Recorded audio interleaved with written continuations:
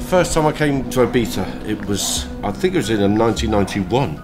The first gig I ever did here was at a Cafe Del Mar. There was no other bars there, so it was just this really fairly ordinary bar. But then in the evening at sunset, all these people used to turn up and just sit and you play a chill out tunes and no dance music. So yeah, it was cool. It was magical, but also you see, it was different then because it was only us few guys that had the records, wasn't it? You know. Absolutely.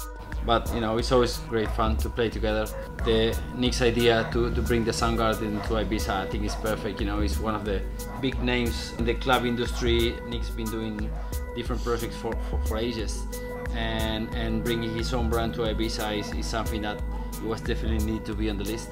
And I'm very happy and, and proud to, to be part of this. And Eden were very kind to invite me over to do some parties this summer, and I thought it's a great chance to bring my mates over to play with me.